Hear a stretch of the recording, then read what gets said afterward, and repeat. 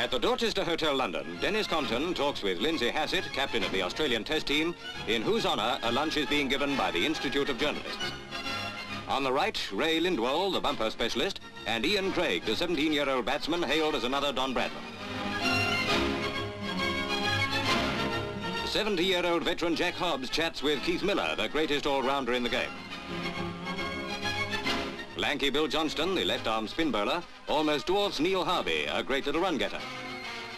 Now the luncheon begins, and after the welcome of London's journalists has been extended, Lindsay Hassett rises to reply for the Aussies. Watching him is their vice-captain, Arthur Morris. I thoroughly agree that uh, when the season is over, it's not going to matter at all uh, who has the Ashes. The main thing is that we should have played one good season of cricket. And uh, I have every confidence that uh, the cricket lovers in England are going to see a good, a good season.